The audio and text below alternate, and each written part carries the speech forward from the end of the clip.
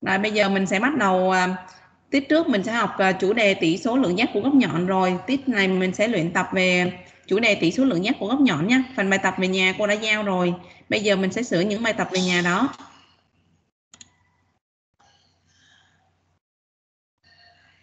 Rồi lớp mình hôm nay không vắng ai đúng không? Bây giờ bài số 1.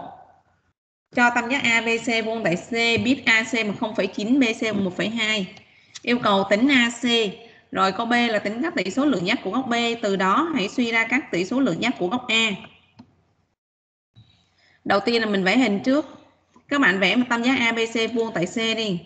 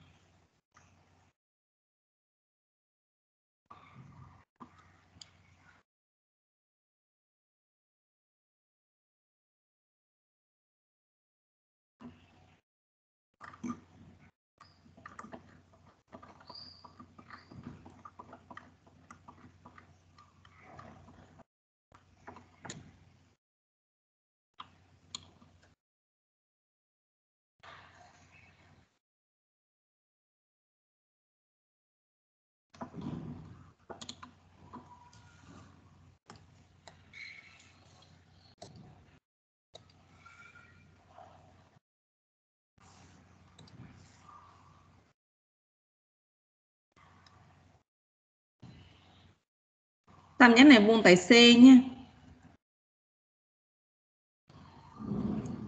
Rồi trong đó có cạnh AC ta cho rồi, cạnh AC bằng 0,9.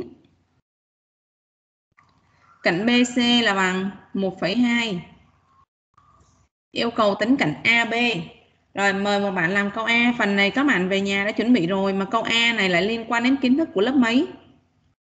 Lớp 7 mình đã học lâu lắm rồi. Rồi về nhà đã chuẩn bị bài chưa mà cây cô thấy bây giờ chỉ có 3 bạn, 5 bạn, 6 bạn phát biểu thôi.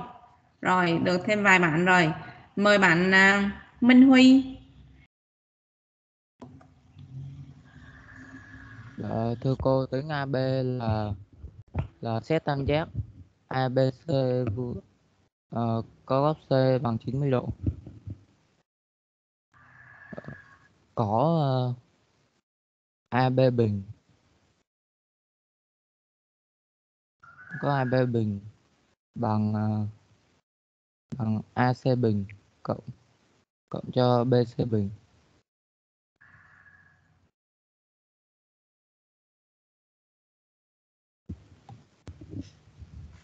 Là bằng 0,9 bình cộng 1,2 bình.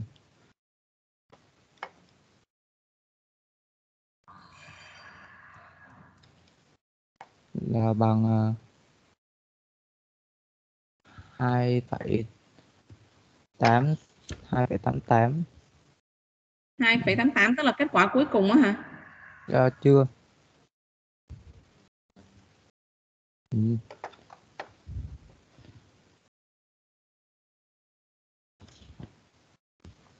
À bằng 1,5 là kết quả cuối cùng. Tức là ở đây là 2,25 đúng không? À, dạ. Cộng là bằng dạ. 2,25. Xong mình phải trình bày là suy ra, suy ra cái gì bằng?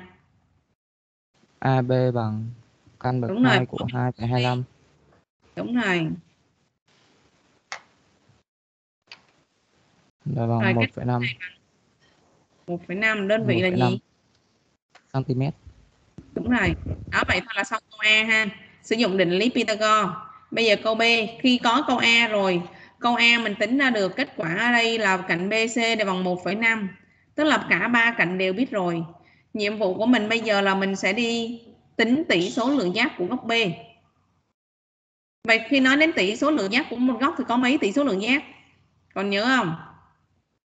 Còn có 4 tỷ số lượng giác sin, cos, tan, cotan. Rồi nhớ lại cho cô xem. tỷ số lượng giác sin là bằng cạnh nào chia cạnh nào rồi cô nhắc lại qua đây nha tỷ số ở đây liên quan đến 4 tỷ số lượng giác đầu tiên là sin. Sin của một góc. Thì bằng cạnh đối chia cho cạnh huyền. Rồi cô chỉ biết tắt thôi. Cos cos của một góc nào đó. Cô giả sử một góc alpha rồi đó đi. Rồi trang my cos là bằng gì? Dạ, cos bằng cạnh kề chia cạnh huyền à đúng rồi rồi tới tỷ số thứ ba là gì Tan là tan là cạnh đối chia cạnh kề. ừ. Cốt tan là cạnh kề chia cạnh đối. đó lúc này mình chỉ cần biết xác định là cạnh đối cạnh huyền cạnh kề trên hình vẽ là mình sẽ tính được 4 tỷ số lượng giác này vậy mời một bạn xác định cho cô tam giác ABC ta cho vô tại C về cạnh nào cạnh huyền rồi đối ở đây mình đang cần xét đối với góc B. Góc B ở đây thì cạnh nào là gọi là cạnh đối cạnh nào là cạnh kề? Quốc trọng. Để có ừ. cạnh nào là cạnh huyền? Dạ. Ở cạnh huyền là AB ạ. ừ, đúng rồi cạnh huyền là cạnh AB rồi góc B ở đây thì cạnh nào là cạnh đối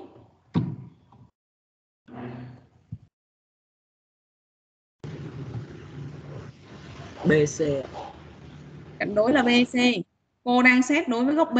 Góc B nằm đây thì cạnh đối phải là cạnh nào? AC à, cạnh đối phải là cạnh AC đối này là đối của góc B. Rồi còn cái cạnh BC còn lại này gọi là cạnh gì? Cạnh huyền. Ở cạnh cạnh kề. À, cạnh này gọi là cạnh kề. Kề này cũng là kề của góc B đó vậy lúc này đối với góc B mình đã xác định được cạnh đối cạnh kề và cạnh huyền rồi. Vậy cứ áp dụng đúng công thức này mình sẽ tính được 4 tỷ số lượng giác chưa? Rồi cô sẽ gọi bất kỳ một bạn nào nha. Cô sẽ gọi số bất kỳ nha. Mời số à, số 7 mời số 7 số 7 cô cô, cô đọc lại câu hỏi được không ạ? Nguyễn Vương Gia Bảo. Rồi cô yêu cầu tính tỷ số lượng giác sin sin B Cô... Để em tí. nhìn vào công thức cô đã ghi qua một bên rồi sin B nó bằng gì? Sin sin B bằng bằng AC chia AB à bằng cạnh đối. Cạnh đối là cạnh AC chia cho cạnh huyền là cạnh BC đúng rồi thay số đo vào cho cô bằng 0,9 chia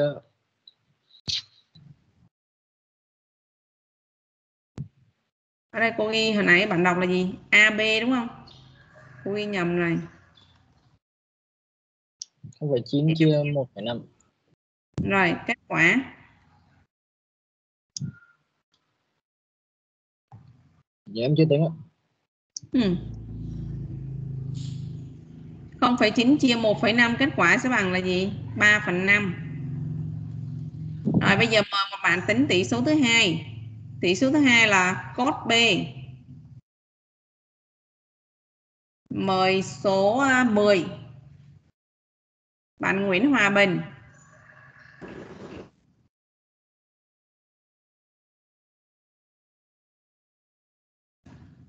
Bạn Nguyễn Hòa Bình bạn nào không lên tiếng là cô đánh vắng à.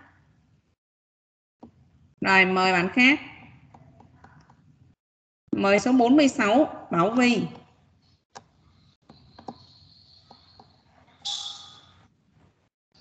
dạ.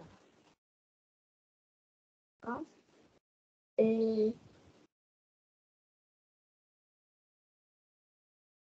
cos B bằng CB chia phần phần AB cạnh gì chia cạnh gì?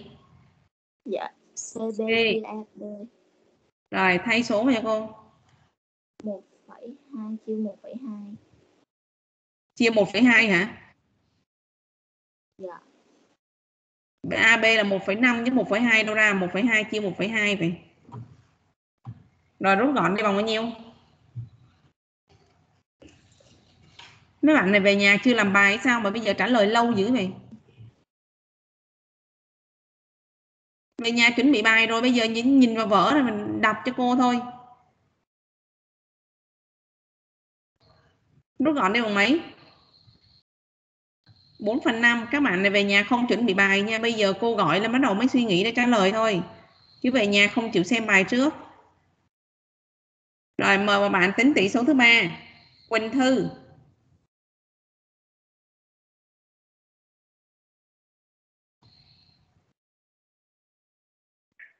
Dạ. Rồi tính tỷ số thứ ba tan B.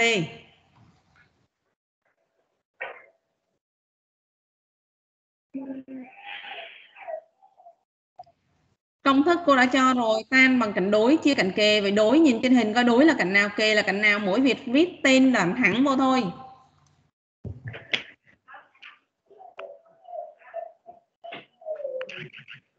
Các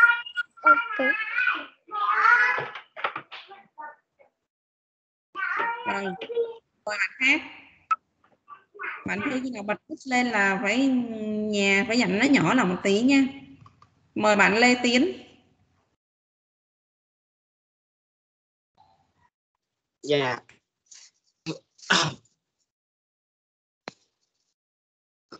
Cái màn hình của em không thấy màn hình của cô. Ừ. các bạn có thấy được không? Nó tức là chỗ bạn lê tiến mạng bị yếu quá rồi. Rồi bạn phạm phương thảo.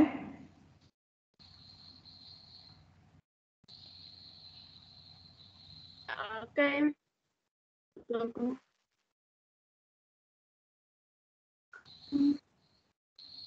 cái màn hình của em cho nó nhỏ xíu mà cô em đang học điện thoại hay máy tính? Dạ, em học điện thoại. Dạ có đang- B bằng bằng CB trên trên Cô đang- số tan B. Dạ tan B bằng AC trên CB AC chia CB đúng rồi rồi bằng gì nữa? Dạ bằng không tám phẩy chín chia một phẩy hai. Rồi kết quả bằng nhiêu? Rút gọn đi mình bằng 3 phần 4 rồi tỷ số thứ tư là cô tan của góc B. Mời một bạn à, bạn Thúy Vi Dạ. Tan B bằng dạ AB chia cho AC là AB là bằng một AB là cạnh huyền mà mà cô tan đây là kề với đối mà cạnh kề là cạnh Dạ. nào BC chia cho AC.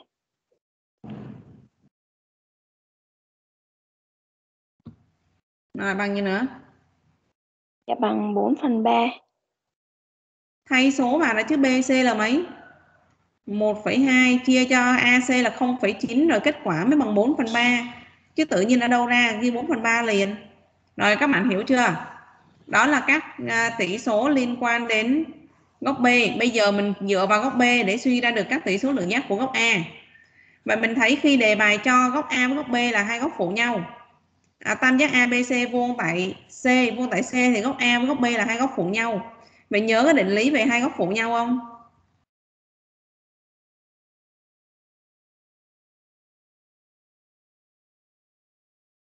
mời một bạn nhắc lại định lý về hai góc phụ nhau Văn Giang Dạ thưa cô là hai anh góc phụ nhau ta có sin góc này bằng cos góc kia ạ. Cô tan góc này bằng tan góc kia. à, đúng rồi hai góc phụ nhau thì sin góc này sẽ bằng cosin của góc kia, tan góc này sẽ bằng cotan của góc kia. Vậy lúc này khi này mình có góc A với góc B là hai góc phụ nhau, thì mình có đầu tiên là gì? Sin của góc A, mình cũng đi tính 4 tỷ số lượng giác. Sin góc A, cos góc A, tan góc A và cotan góc A. Đó vậy suy nghĩ xem sin góc A nó bằng cái gì. Rồi cốt góc A.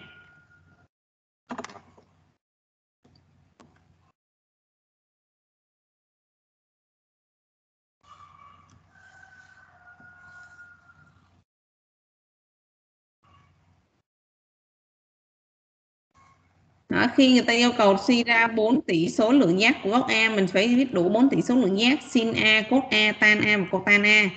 Vậy sử dụng định lý hai góc phụ nhau mình sẽ tìm được bằng Huỳnh Nghĩa. dạ là xét tam giác ABC có góc C bằng 9 90 độ rồi góc A và góc B là hai góc phụ nhau ta có là sin A bằng với cos B và bằng 4 phần 5 ạ sin A bằng cos B ạ Sin A bằng cos B bằng 4 phần 5 đúng rồi tiếp tục. rồi cos của góc A bằng sin của góc B ạ và bằng 3 phần 5 ạ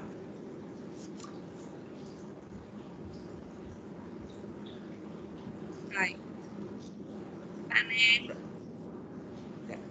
tan A bằng cotan của góc cotan của góc B B và bằng uh, và bằng 4 phần 3 ạ. Rồi còn tỷ số cuối cùng cotan của góc A cotan của góc A bằng tan của góc B và bằng 0,9 phần và bằng uh, và bằng 3 phần 4 ạ. Rồi. Vậy mình thấy rõ ràng mình dựa vào các tỷ số lượng giác của góc B mình sẽ suy được các tỷ số lượng giác của góc A luôn. Vì góc B với góc A là hai góc phụ nhau. Rồi bây giờ qua bài số 2. Bài số 2 mình cũng vận dụng kiến thức về hai góc phụ nhau để tính được tỷ số lượng giác. Viết được các tỷ số lượng giác này. Người ta yêu cầu hãy viết các tỷ số lượng giác sau bằng một tỷ số lượng giác nhỏ của góc nhỏ hơn 45 độ. Vậy đầu tiên mình có tỷ số là sin của 60 độ. Rồi mời bạn Tiến Huy. Dạ thưa cô sin 60 độ bằng cos 30 độ. Vì sao mình biết rằng cốt của 30 độ? Thưa cô là cos 90 độ trừ cho 60 độ. ạ. À, thì lúc này mình muốn tìm hai góc phụ nhau, hai góc phụ nhau thì có tổng bằng 90 độ. Cho nên muốn tìm cos của góc bao nhiêu độ mình lấy 90 độ trừ đi 60 độ thì được cos của 30 độ. Đó, đây là hai góc phụ nhau. Tương tự như vậy, một bạn tìm ý thứ hai.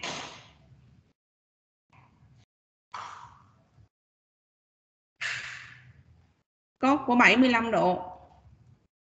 Mời bạn à, Trà My. Dạ cô là cos của 75 độ bằng sin 90 độ trừ 75 độ bằng sin 15 độ. Rồi.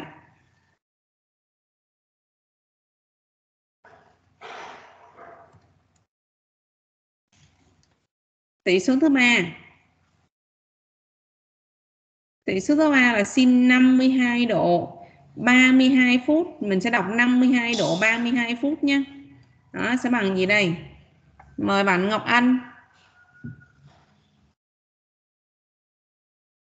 Dạ con thưa cô, con uh, xin 52 độ 32 phút bằng cos 90 độ trừ đi 52 độ 32 phút.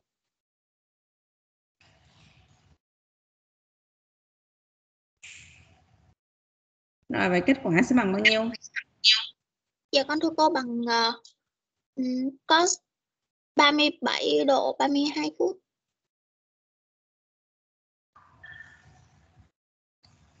Rồi. Giờ các bạn lưu ý nè, ở đây cô hướng dẫn nha. Cứ một độ, một độ mình đổi ra sẽ bằng bao nhiêu phút? Ngọc Anh tắt mic đi Ngọc Anh. Nó bị vang vậy quá. Rồi một độ, lưu ý cô một độ mình đổi ra được 60 phút nha. Rồi bây giờ mình muốn lấy 90 độ. Muốn lấy 90 độ trừ đi 52 độ 32 phút thì mình không 90 độ này không có chưa có phút thì mình sẽ đổi đổi 90 độ này ra bằng nhiêu? Đổi ra bằng 89 độ. Vậy còn lại một độ cô sẽ đổi ra thành bao nhiêu? 60 phút. Mình đem trừ cho 52 độ 32 phút.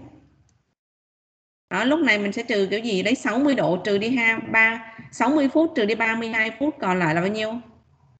28 phút. Đúng chưa? Rồi 89 độ trừ đi 52 độ còn lại bao nhiêu? 37 độ. Vậy kết quả của mình phải là 37 độ 28 phút chứ không phải là 37 độ 32 phút.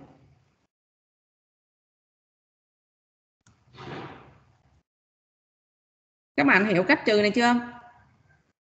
Rồi tỷ số tiếp theo. Cô tan của góc 82 độ. Nhật Hạ. Dạ cô, tan của góc 82 độ bằng tan 90 độ trừ 82 độ bằng tan 8 độ. Rồi đúng rồi. Rồi tỷ số tiếp theo. Tan của 60 độ, tan của 80 độ. Mời bạn à, Bảo Trâm.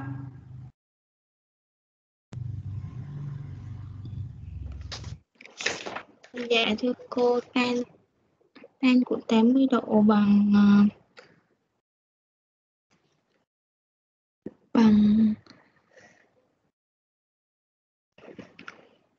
Tan thì cốt với 10 tỷ số độ. nào? Sao đọc là Dạ. cốt? Sao đọc là cốt? Phải đọc là gì? Cốt hoặc là đọc là cô tan. Chứ cốt là chữ Dạ. S này nè. Cốt của Cô 90 độ trừ cho 80 độ. cho 80 độ bằng cốt 10 độ. Ừ, cô tan của 10 độ. Các bạn đừng có đọc cốt cốt hồi nó nhầm chữ cốt với chữ cốt nhầm nhau đó nha. Rồi các bạn hiểu bài số 2 chưa? Bây giờ mình chuyển qua bài số 3. Bài số 3 là dạng hình vẽ. Yêu cầu tìm xy. y. Bây giờ nhìn vào hình A, hình số 1. Hình số 1 ở đây cô cho tam giác DEF. Tam giác DEF vuông tại D. Đó, khi nó vuông tại D thì cái cạnh đối diện với góc D này nè, từ góc D nhìn thẳng ra đây, cạnh này gọi là cạnh gì? Còn nhớ không? Này cô hỏi những câu rất là đơn giản nha. Cô nói góc D nằm đây thì cạnh đối diện nhìn từ góc D ra thì cạnh đối diện với góc D gọi là cạnh gì? Hải Âu.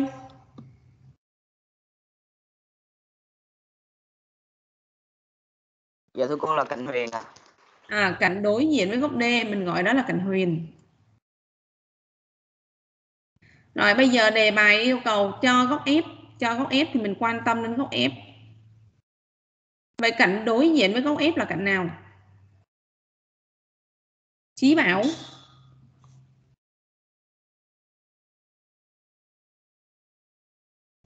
Em Từ góc F. Trời mấy cái bạn này chắc ngồi gần cô chắc cô cho nó một roi quá à. Cái góc F đây nhìn đối diện góc F ra, từ thẳng từ góc F nhìn ra, vậy cạnh này gọi là cạnh gì?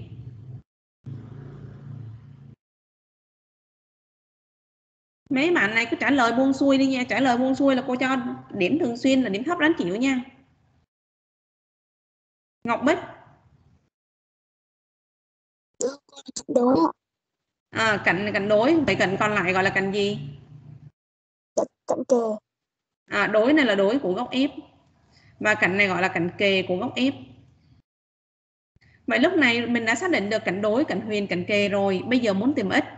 Nhìn trên hình nha. Cô đang cần tìm x. X này gọi là cạnh gì rồi? Mình đã ghi đây rồi. Đây là cạnh gì đây? Cạnh đối. Cạnh nào biết rồi? Trong ba cạnh này, cạnh nào biết rồi? Là cạnh huyền đúng không? Cạnh huyền biết rồi. Vậy đang tìm cạnh tìm cạnh tìm là cạnh đối. Biết là biết cạnh huyền. Vậy cái tỷ số mình sử dụng là phải liên quan đến cạnh đối và cạnh huyền. Vậy đó là tỷ số nào? Hồi nãy mình mới làm xong á. Tỷ số nào liên quan đến cạnh đối với cạnh huyền? Mời bạn Quốc Trọng. Dạ xin. À đúng rồi. Vậy mời bạn Quốc Trọng trình bày cho cô ý thứ nhất luôn. Hình 1 ý thứ nhất. Xét tam giác DEF có D bằng 90 độ.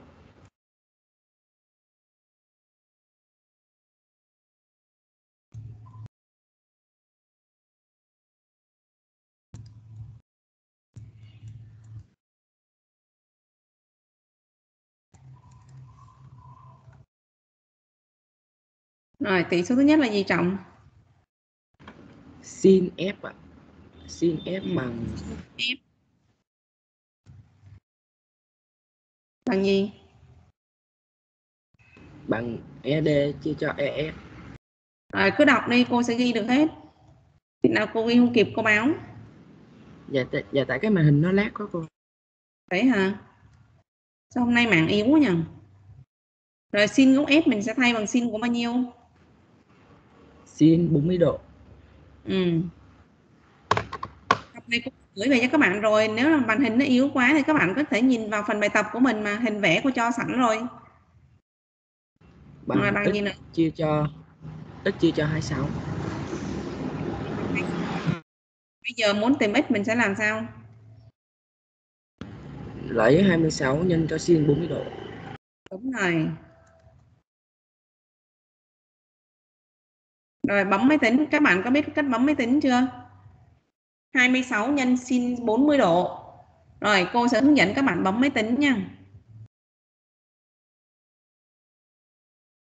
Các bạn chờ cô tí cô chia sẻ lại màn hình.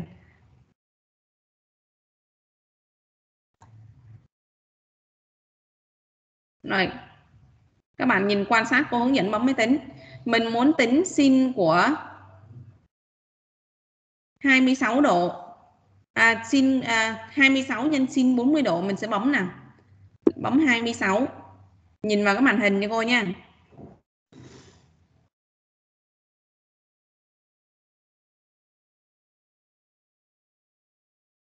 Rồi 26 độ. 26 nhân sin tỷ số sin các bạn có nhìn được không? Sin đây. Sin của 40 độ. 40 bấm độ. Rồi đóng ngoặc lại. Rồi bằng. Đó các bạn thấy cách bấm chưa? 16,71. Cô yêu cầu làm tròn cho cô hai chữ số thập phân. Vậy số đầu tiên bị bỏ đi của mình là số mấy? Cô ghi đây là 16,71. Vậy số đầu tiên bị bỏ đi là số 2. Vậy khi bị bỏ đi, số đầu tiên bị bỏ đi mà từ số 5 trở lên là mình phải cộng thêm 1 vào đằng trước. Nhưng mà ở đây số đầu tiên bị bỏ đi là số 2 cho nên không ảnh hưởng gì tới các số đằng trước. Các bạn hiểu cách làm tròn chưa? Làm tròn này mình đã học từ lớp 7 rồi. Rồi, bây giờ tương tự như vậy. Cô muốn tính các tỷ số lượng giác của à tính y. Y, các bạn nhìn vào hình cho cô xem y là cạnh gì? Đoạn y này được gọi là cạnh gì đây? Cạnh kề. Rồi, biết cũng là biết cạnh huyền. Vậy sử dụng tỷ số lượng giác nào để tính?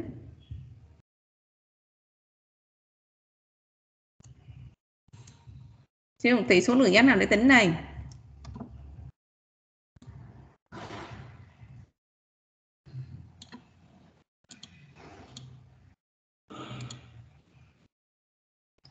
Rồi mời bạn à, Nguyệt Vi. Dạ cô là dùng cos Rồi mình sẽ dùng tỷ số lượng giác là cos. Cos của góc nào? cos F bằng DF chia EF. Suy ra cos 40 độ bằng y chia 26.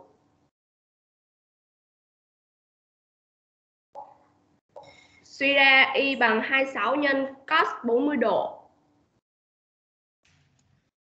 Suy ra y xấp xỉ bằng 19,92.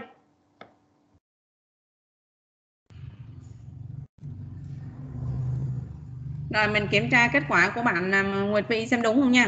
Mình sẽ bấm máy tính lại này. Đầu tiên là mình sẽ bấm 26 nhân với bây giờ tỷ số là cos 40 độ.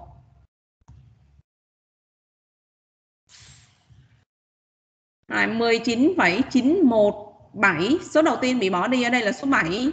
Vậy mình phải cộng thêm một vào đằng trước. Vậy cho nên được là 19,92. Rồi đúng rồi. Các bạn hiểu bài số 1 chưa? Rồi tương tự như vậy các bạn sẽ làm bài số 2. Bây giờ biết cách bấm máy tính rồi cô sẽ hướng, không hướng dẫn nữa nha.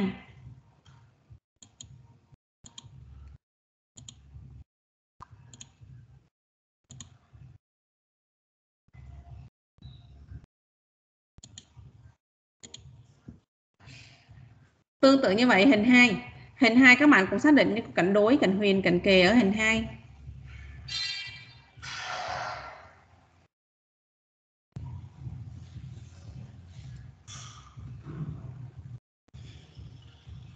Rồi nhìn xem cạnh nào là cạnh huyền.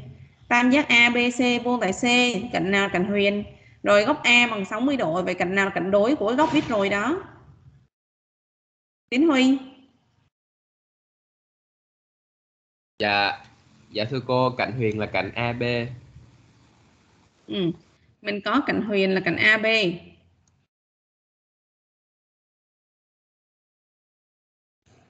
cạnh nào là cạnh đối của góc A Dạ thưa cô, cạnh đối là cạnh CB, còn cạnh kề là cạnh AC. ừ.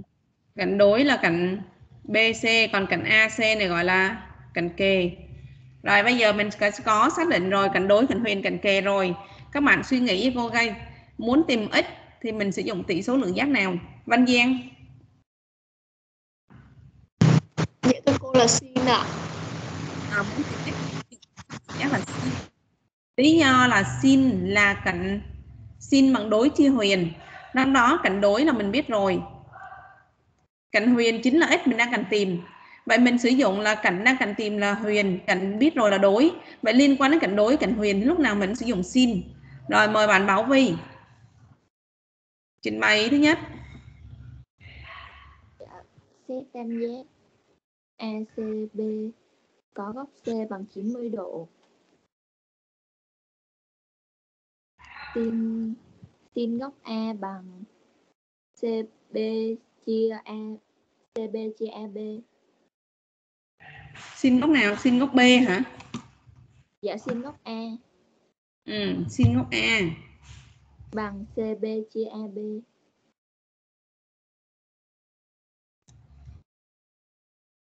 Quy ra sin sóng sin 60 độ bằng 16 chia x chia x.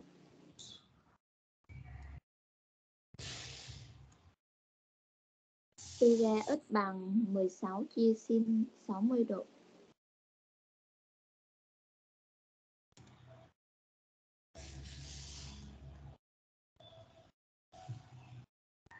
Bằng bao nhiêu?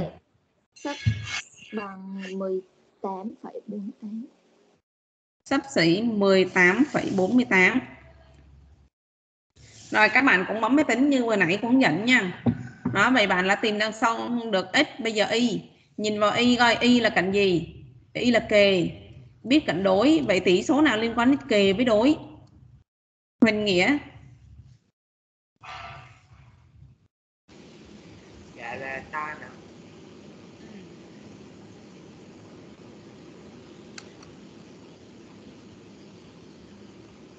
Ana bằng gì tan dạ, tan của tan của A là bằng uh, BC trên AC ạ. BC cạnh đối chia AC là cạnh kề đúng rồi tam là đối chia kề rồi thay vào. Rồi tan rồi suy rồi tan 60 độ và bằng bằng 16 trên Y ạ.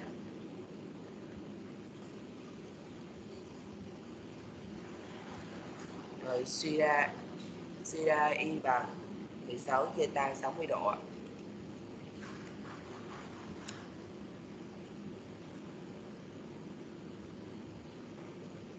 và xấp xỉ là 9,24 ạ 9,24 Rồi các bạn hiểu hình số 2 chưa? Vậy lưu ý cho cô nè.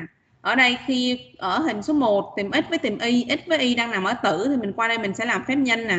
Thấy phép nhân chưa? Đó. Còn bây giờ nếu như ở hình số 2 mình thấy x với y của mình đang nằm ở mẫu, ở mẫu thì qua đây mình phải làm phép gì? Phép chia. Nhớ nha. Rồi bây giờ hình số 3, hình số 3 cũng làm tương tự. Mời một bạn xác định cạnh đối, cạnh huyền, cạnh kề của hình số 3.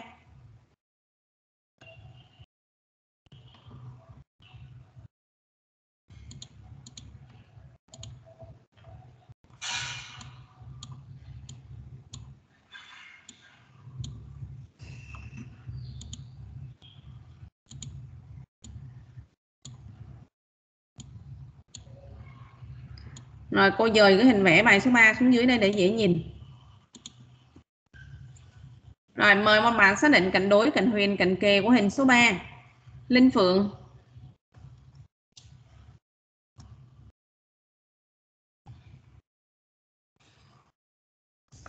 Dạ thưa cô là tam giác HIK vuông tại H thì IK sẽ là cạnh huyền, ờ, uh, HI sẽ là cạnh đối của góc K còn HK sẽ là cạnh kề của góc K.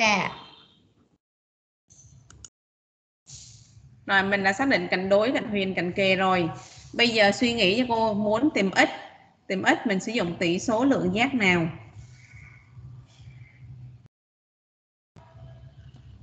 Lớp mình được có cỡ 10 bạn là đưa tay liên tục còn những bạn khác là không biết gì luôn. Không hề chú ý gì trơn á.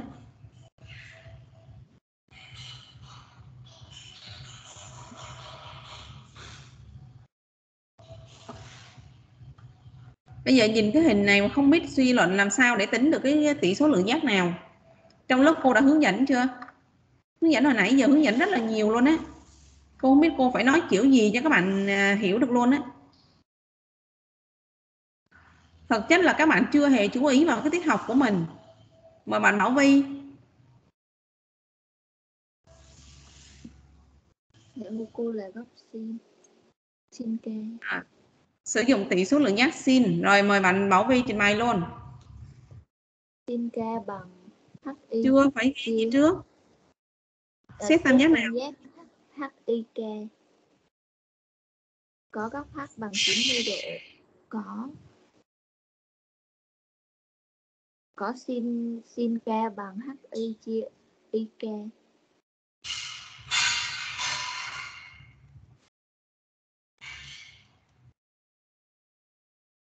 suy ra sin Hai số nào? suy ra sin 15 độ bằng 5 chia x.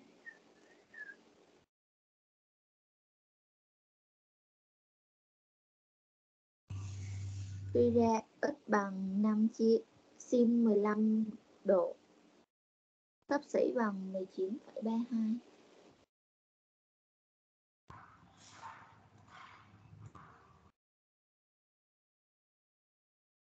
Rồi. Rồi, tương tự như vậy tìm y.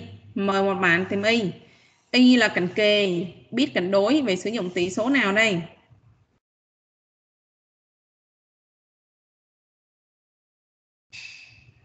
Văn Giang, Dạ thưa cô là cos ạ. cos. Cos hay là cốt? Dạ cờ ấy đó cô.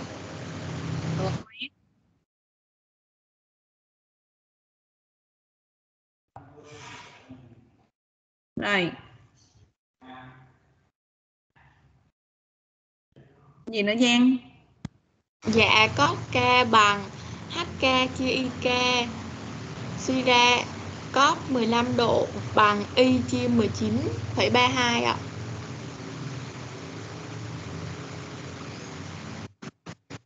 Suy ra y bằng 19,32 nhân cos 15 độ, suy ra y xấp xỉ bằng 18,66 ạ.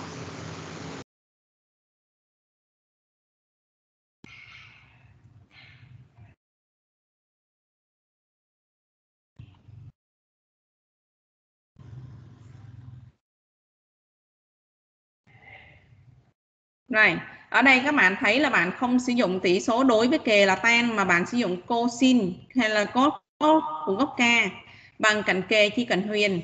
Thì trong đây có cạnh huyền mình đã làm tròn một x nè, x là cạnh huyền mình đã làm tròn một lần rồi.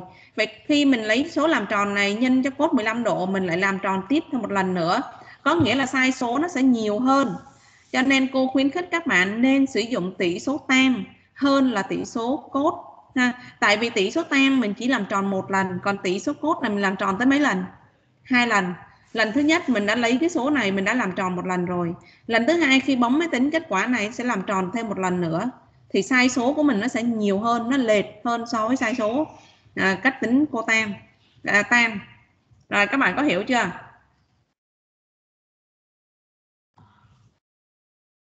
Rồi bây giờ qua bài tiếp theo. Bài số 4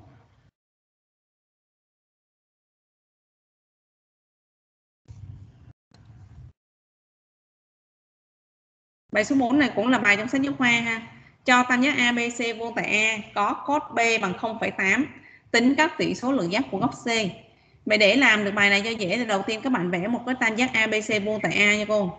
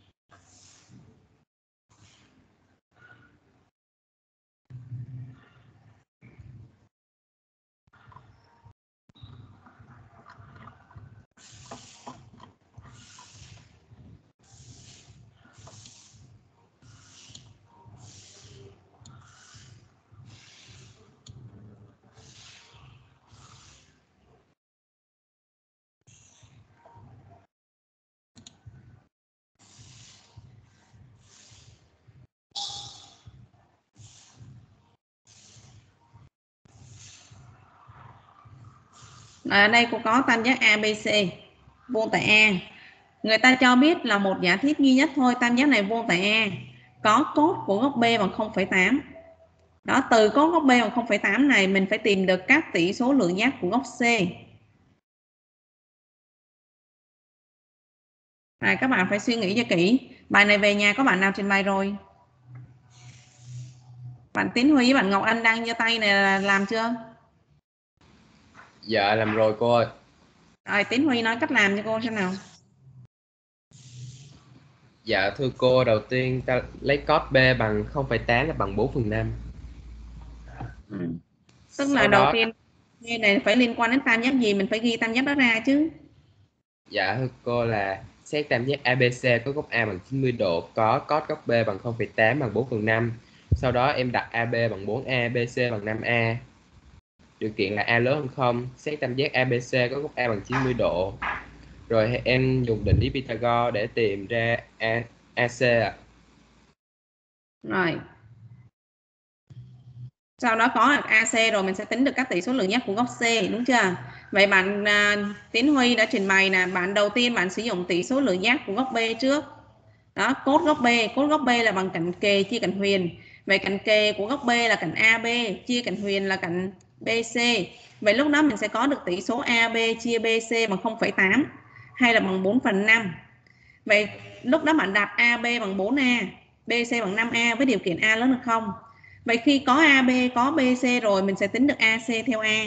Vậy ba cạnh này mình đều tính được theo A rồi thì mình sẽ tính được các tỷ số lượng giác của góc C. Rồi mời bạn Tiến Huy trình bày luôn. Dạ thưa cô là xét tam giác ABC có góc A bằng 90 độ, có cos góc B bằng 0,8 bằng 4 phần 5. Dạ đặt AB bằng 4A, BC bằng 5A, A lớn hơn 0. như tới AB AC hết trơn mà cốt góc B nó bằng gì Cos B bằng 0,8 bằng 4 phần 5. ừ. Dạ đặt AB bằng 4A. Rồi sao tự nhiên đặt AB 4A được liền? AB đâu ra? BC đâu ra? Dạ. cái câu của mình dẫn chưa có gì liên quan tới AB với BC hết. Dạ. thì lúc này mình cốt góc B nhìn vào hình cốt góc B là bằng cạnh nào chia cạnh nào? Dạ thưa cô. Là AB chia cạnh huyền là BC thì mình phải suy ra được cái tỷ số AB chia BC bằng 4 phần 5 lúc này mình mới đặt được chứ. Dạ. chưa có gì lấy gì đặt. Rồi tới đây đặt làm sao đây? Dạ cô là đặt AB bằng 4A, BC bằng 5A với điều kiện A lớn hơn 0 ạ. rồi. Dạ, xét tam giác ABC có góc A bằng 90 độ có.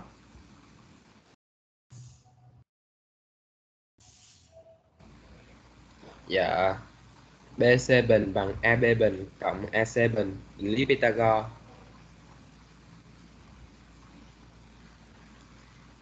năm a tất cả bình bằng 4A tất cả bình cộng cho AC bình.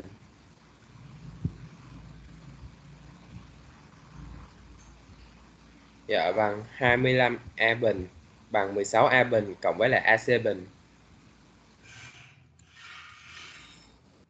Dạ suy ra AC bình bằng 9A bình. Suy ra AC bằng 3A. tự nha từ từ nha. Cái này là cái gì đây à, từ đây phải suy ra cái gì đã mới mới có phép trừ được chứ? Cô ghi một à, đọc nhanh quá cô ghi một lèo lên rồi Huy ơi. Đọc lại. Cô ơi, tại vì cái màn hình của cô nó đơ cô, em không có thấy nên là em đọc theo bài của em với cô. ờ. Trời sao hôm nay mạng yếu quá rồi từ đây mình rút ra BC bình. Cô đang ghi tới BC bình bằng AB bình cộng AC bình. Vậy từ đây mình mới rút ra được là gì? Dạ 5A tất cả bình bằng 4A tất cả bình cộng với lại AC bình. rồi. Vậy lúc này AC bình phương cô có thể ghi thành BC bình phương trừ cho AC bình phương. À trừ cho AB bình phương. Rồi mình sẽ thay vào được là 5A tất cả bình. Trừ cho 4A tất cả bình. 5A tất cả bình là bằng mấy Dạ bằng 25A bình. ừ, 25A bình. Còn 4A tất cả bình. Dạ 16A bình. 4A tất cả bình bằng 16A bình Vậy 25A bình trừ 16A bình bằng. Dạ bằng 9A bình. Rồi. Vậy AC bình phương bằng 9A bình Thì mình phải tìm cái gì nữa? Dạ AC bằng 3A ừ, AC tính cái nào ra được 3A dạ AC bằng căn bậc 2 của 9A bình. Ừ, Căn bậc 2 của 9A bình. Rồi mới bằng 3A Tại vì điều kiện A cho lớn hơn không rồi Nên nó bằng 3A luôn. Rồi vậy lúc này mình thấy mình có ba cạnh rồi. Cô cảm ơn bạn Huy tới đó được rồi. Bạn Huy bạn đã trình bày cách làm cho các bạn là bạn tìm ra được Là bạn đặt AB bằng 4A Đặt BC bằng 5A Và từ đó mình đã tìm được AC bằng 3A Lúc này ba cạnh, độ dài ba cạnh của tam giác ABC đều có theo A rồi. Vậy mời một bạn tính cho cô các tỷ số lượng giác của góc C. Khi nói đến các tỷ số lượng giác của góc C thì nó sẽ liên quan đến mấy tỷ số lượng giác? Nó sẽ liên quan đến 4 tỷ số lượng giác. Vậy ở đây cô sẽ ghi lại tam giác ABC vuông tại A. Rồi, mời một bạn sẽ tính các tỷ số lượng giác của góc C. Lúc này lưu ý là đề bài yêu cầu tính của góc C chứ không phải là của góc B nữa. Vậy các bạn phải nhiệm vụ các bạn phải xác định cạnh đối, cạnh huyền, cạnh kề của góc C. Vậy cạnh nào là cạnh đối của góc C đây?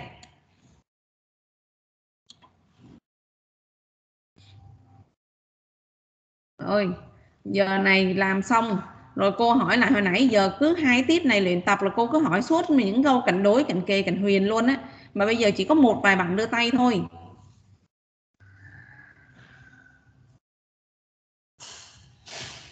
Trường An Mời bạn Vũ Trường An Dạ cô. Rồi cạnh nào là cạnh huyền? Dạ là Cạnh huyền là AC Cái gì? Tam giác này vuông tại A mà cạnh huyền là AC hả? Dạ ABC ạ Ừ, cạnh huyền là cạnh BC.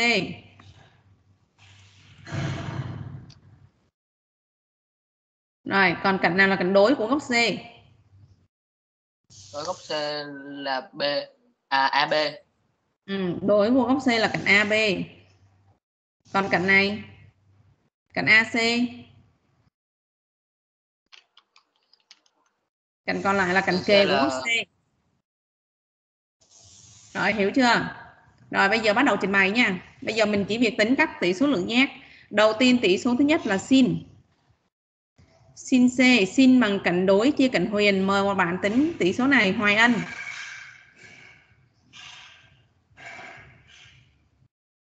Bạn Hồ Hoài Ân. Dạ. Sin C nhìn vào hình vẽ coi nó bằng cạnh nào chia cạnh nào.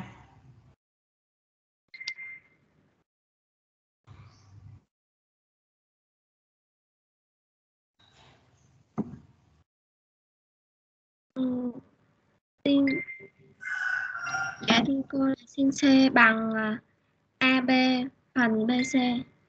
Ừ, đúng rồi, bằng cạnh đối là AB. Chia cho cạnh huyền là BC rồi thay số vào cho cô. AB Dạ bằng mấy? bằng Dạ AB bằng 4A chia 5A. Đúng rồi. Dạ bằng cách- 4 4 phần 5. Rồi tương tự như vậy mời một bạn tính tỷ số thứ hai là cos C. Cô hỏi những câu này rất là dễ nha. Hải Âu.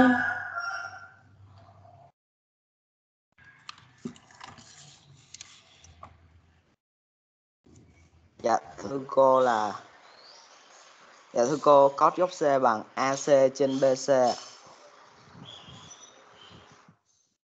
Rồi bằng gì nữa? Dạ à, bằng à, 3A trên 5A bằng 3 phần 5 ạ. Rồi vậy mình được hai tỷ số rồi, sin với cos rồi, tới tỷ số thứ ba là tan. Mời bạn à, Minh Tuấn.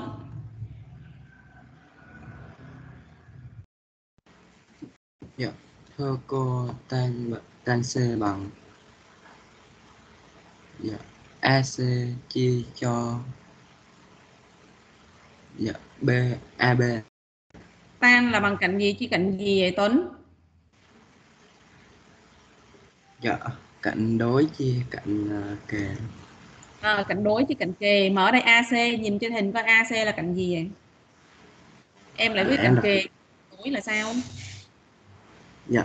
Là AB chia cho AC ừ, AB chia AC rồi thay số vào cho cô. Dạ. Sin C bằng 4 nghe tan C mà đang làm tan C mà C đâu ra vậy? Dạ tan C bằng 4 nghe chia cho 3 A. Ừ, chia cho 3A vậy rút gọn đi bằng nhiêu? Dạ bằng 4 phần 3 đúng rồi rồi mời một bạn làm tỷ số cuối cùng Mai Phương.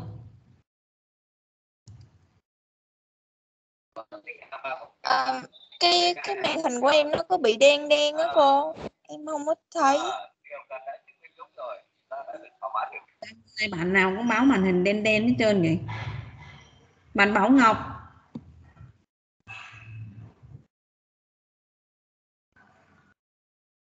Bạn Bảo Ngọc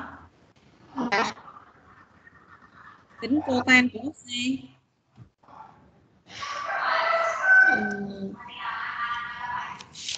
Dạ thưa cô là AC chia AC chia cho gì?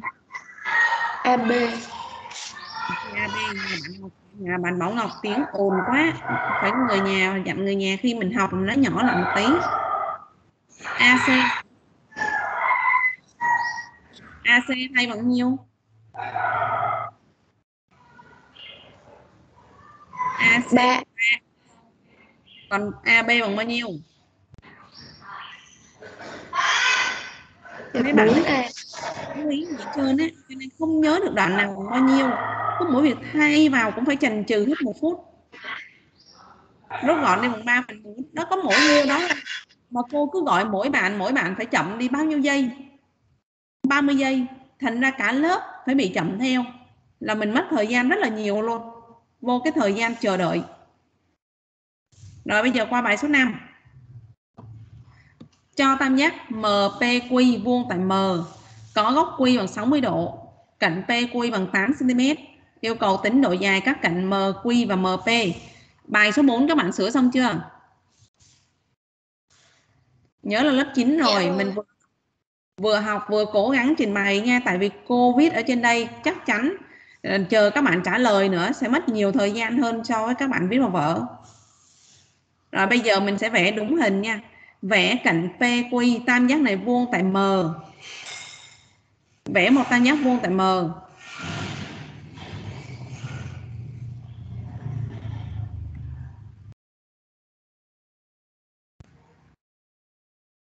Vuông tại M và góc Q phải bằng 60 độ. Vậy cô sẽ vẽ góc Q bằng 60 độ trước.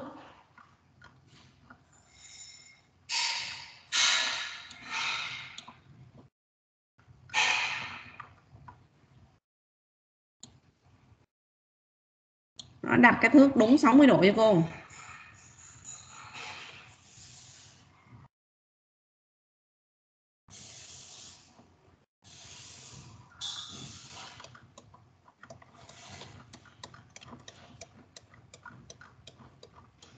Bây giờ mình sẽ vẽ góc M làm sao góc M bằng 90 độ.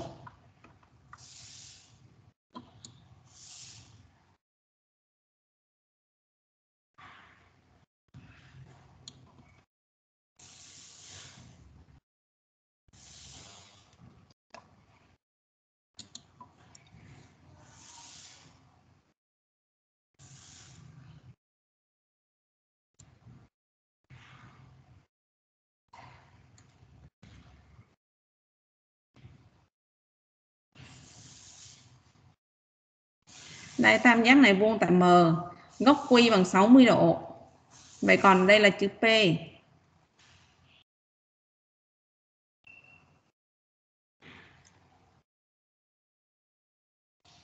Cạnh MPQ cho bằng 8 cm.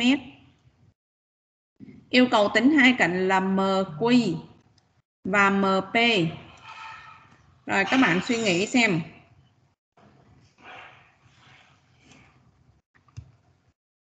Vậy giống như bài số 3 hồi nãy không? Chẳng qua là bài số 3 hồi nãy là cô cho hình vẽ sẵn, còn bài này là chưa cho hình vẽ, mình phải tự vẽ hình. Vậy để tính được bài này thì mời một bạn xác định cạnh đối, cạnh huyền, cạnh kề trong hình này đối với góc quy nhé. Đối với góc quy, mời bạn Ngọc Bích.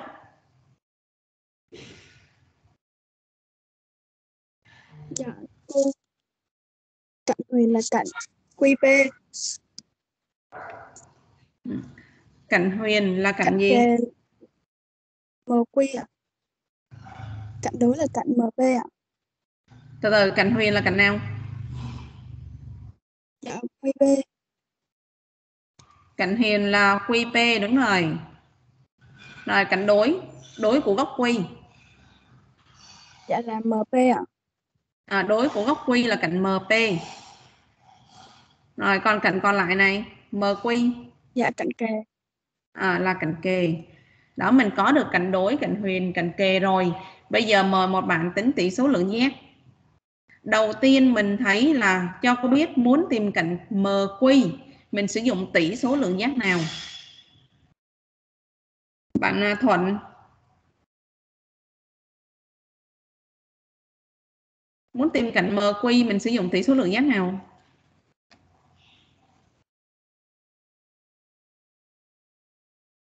Nhìn cho cô đi, Thuận nó rồi.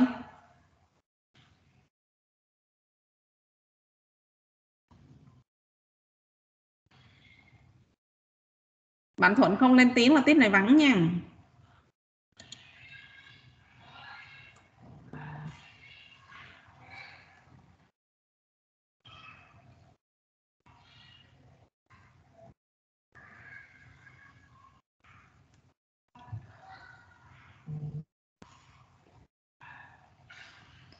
Bạn Thuận, cô gọi nãy giờ bạn Thuận không lên tiếng nha. Rồi cô gọi bạn khác, bạn Thuận coi như tiếp này là không thấy lên tiếng, không báo gì là vắng nha.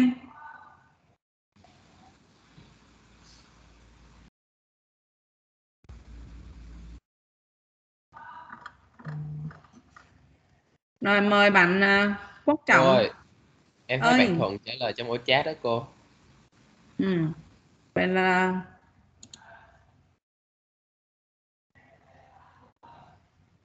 Ủa ngoài chỗ bạn Thái là mưa to hả? Màn hình của cô đơ rồi không thấy gì luôn. Vậy cô kết thúc chia sẻ cô chia sẻ lại một lần nữa cho các bạn nhìn thấy nhé. Tại vì mạng hôm nay sao không hiểu sao mà mạng yếu quá. Rồi các bạn có thấy được hết không? Cô đã thực hiện chia sẻ lại lần nữa rồi đó. Dạ thấy ạ. Rồi. Quan trọng là những bạn hồi nãy chưa thấy á, bạn Thuận ơi thấy được chưa? Thuận vẫn chưa thấy luôn hả? Chán nhầm. Rồi vậy cô mời bạn khác đi nhé. Mời bạn khác. Tí nữa cô sẽ gửi cái file à, PDF phần bài tập hôm nay lại cho các bạn. Để bạn nào mà chưa thấy rõ thì tí nữa mình xem lại hoặc là xem lại trong cái tệp recording nha. Hoặc cuối tuần trường mình cũng gửi lên trang YouTube các bạn xem lại nha. Linh Phượng.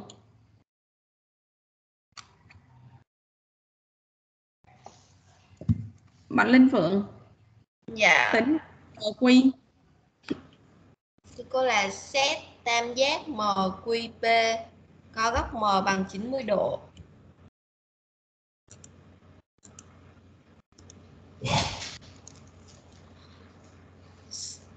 Sin Q sin Q sẽ bằng MB chia cho MQ.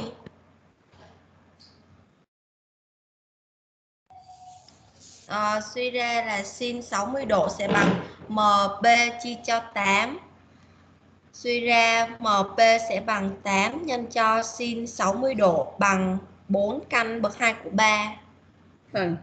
Sin Q bằng MP chia MQ. Có đúng không vậy Phượng? Sin mà bằng MP chia MQ hả? Sin là bằng cạnh gì chứ cạnh gì? Đối. Dạ, Chia cạnh đối. huyền. Cạnh huyền là cạnh nào? Vậy là QP Ờ. Cạnh huyền là PQ. Rồi từ đây mình mới suy ra được là MP mình giữ nguyên đúng không chia cho Dạ. PQ PQ là mấy là 8 ạ. ừ. vậy từ đây suy ra được MP tính bằng cách nào MP bằng 8 nhân cho sin 60 độ bằng 4 căn bậc 2 của 3. Rồi vậy bạn Phượng đã tính được MP. Bây giờ còn cạnh MQ. MQ là cạnh kề. Biết cạnh huyền về sử dụng tỷ số nào đây? Trăm.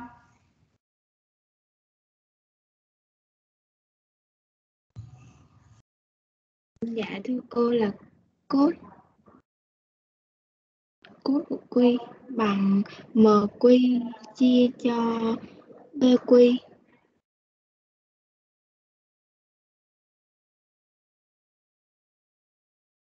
Gì nữa Trâm? Dạ suy ra cos của 60 độ bằng MQ chia 8. Suy ra MQ bằng 8 nên cos 60 độ, suy ra MQ bằng 4. Rồi.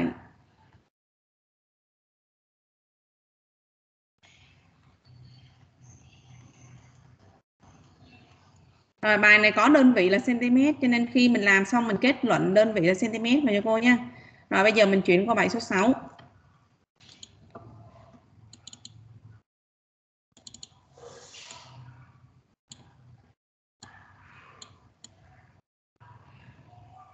Rồi các bạn sửa xong bài số 5 chưa? Sau đó bài số 6, bài số 6 mình thấy cái hình vẽ này chưa có tên thì bây giờ mình sẽ thực hiện đặt tên vào nhé. Cô sẽ đặt tên cho các đỉnh. Ở đây cô đặt đây là A B C đây là H. Đó, cô đặt tên các đỉnh như này.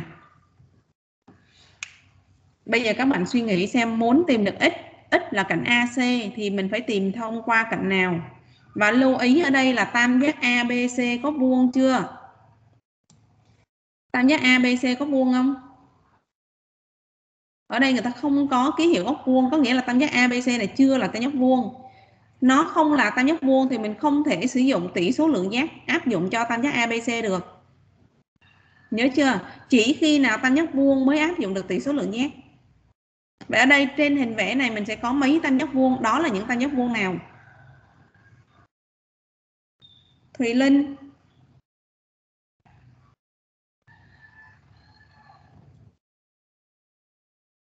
Dạ, cô là có hai tam giác vuông.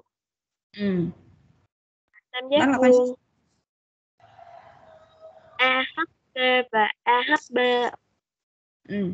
Có hai tam giác vuông, tam giác AHB, tam giác AHC. Vậy hai tam giác vuông này mình thấy là tam giác AHB có được mấy yếu tố rồi? Có góc B. Góc B bằng 45 độ, cạnh BH bằng 20. Vậy đối với tam giác vuông thứ nhất thì mình có thể tính được độ dài của cạnh nào? Mình có thể tính được độ dài cạnh AH. Rồi sau đó mình sẽ dựa vào tam giác AHC. Có cạnh AH có cạnh HC thì mình sẽ tính được cạnh AC. Các bạn có hiểu cách làm bài này chưa? Rồi bạn nào về nhà làm rồi? Mời bạn Ngọc Anh. Ngọc Anh về nhà làm chưa?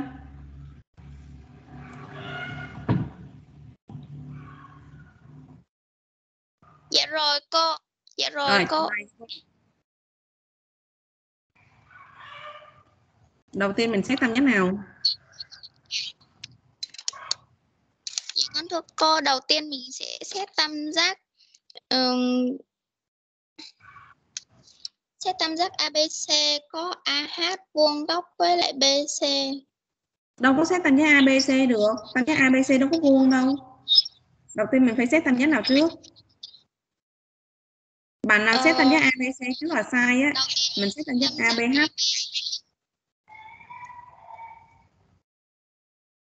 Mình phải xét tam giác ABH vuông tại H trước. Vậy là bạn à, Ngọc Anh làm theo cách là sử dụng tam giác ABC vuông tại A, đường cao AH, xong làm AH bình bằng BH nhân CH đúng không? Dạ. À, cách đó là sai tại vì cách hệ thức khi mà mình nói hệ thức về cạnh và đường cao trong tam giác vuông thì tam giác ABC này cũng phải vào vuông nhưng ở trong đề bài này tôi chưa cho vuông cho nên mình áp dụng cách đó là sai rồi Con con cái mạng của em nó khó nghe quá. Em dạ luôn cô rồi.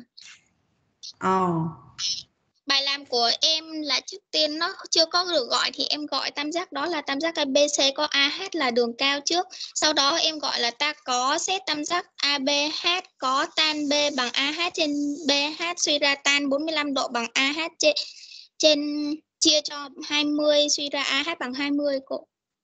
Rồi đúng rồi đó. AH chia BH. Rồi thay vào mình được là tan 45 độ. Bằng, Bằng AH 20 chia cho 20. à, chia 20 vậy từ đây tìm AH bằng cách nào? Dạ con thưa cô ta lấy 20 nhân cho 4 tan 45 độ bằng 20 độ. Đúng rồi. Hôm nay bên chỗ của bạn à, Ngọc Anh cô nói xong cái gì vang lại dữ không? Em không biết nữa, cái mạng của em nó cũng đang chập chờn ấy cô. Ừ. Bằng 20. Không có đơn vị thì mình ghi 20 thôi. Vậy là xong rồi bây giờ tính AC thì dựa vào tam giác nào Ngọc Anh? Dạ con thưa cô, con xét tam giác AHC có góc H bằng 90 độ.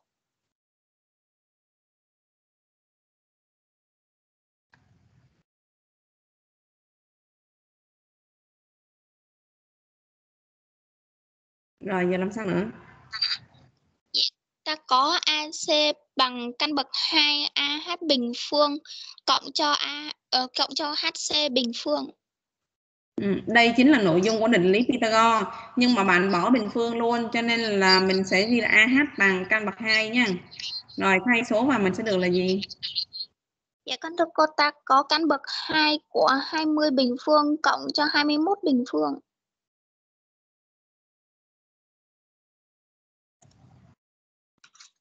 Rồi bằng bao nhiêu?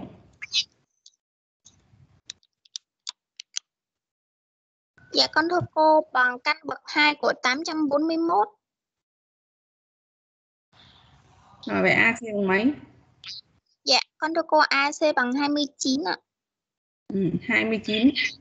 Rồi vậy là kết luận là x sẽ bằng 29.